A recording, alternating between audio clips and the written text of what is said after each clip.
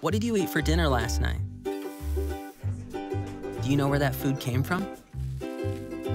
For most people in America, their food comes from hundreds, if not thousands of miles away. It was harvested weeks ago, and then flown, shipped, or trucked to big warehouses where it was processed, packaged, then put on a shelf at the grocery store. And tons of food is spoiled along the way.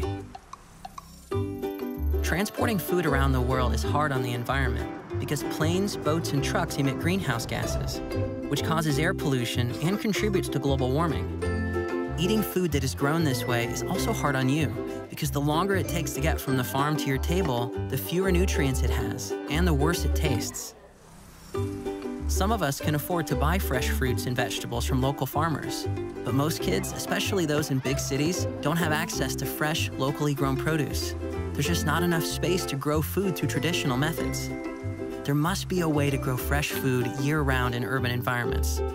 How would you solve this problem? Many people have been trying to figure out how to grow fresh food in urban environments. Some people create small gardens in their yards, rooftops, or balconies. Others make community gardens with their neighbors. And in some cities, people build greenhouses in industrial areas. But there needs to be even better ways to grow fresh produce for people who need it. Brad and Jon were in college in Boston when they started working on solving this problem. They started with rooftop farms, but they soon realized that there wasn't enough space to grow enough food to make it cost effective. And they couldn't farm year round due to Boston's harsh winters. Seeing old shipping containers lying around the city, they wondered if they could repurpose these to create farms. From that idea, Freight Farms was born.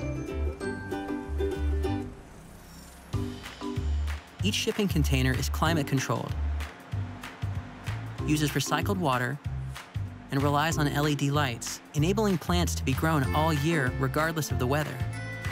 Food is grown vertically in towers to maximize space, and they have an app which allows you to monitor your farm when you're not there.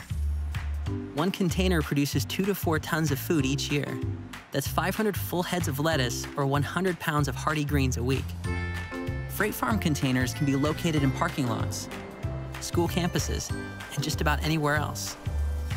No matter where you are, you're able to grow fresh, healthy food 365 days a year, providing locally grown produce to people in areas where it was previously not possible.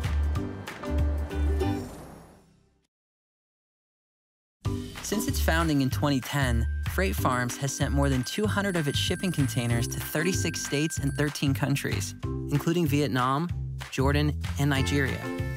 Schools are some of their biggest customers, with each container capable of growing two to four tons of produce per school year. That's a lot of fresh food. Some people are even growing varieties of fruits and vegetables that don't normally grow in their region of the world. In the coming years, Freight Farms hopes to reach even more people who want sustainable, locally grown produce year-round, no matter where they are.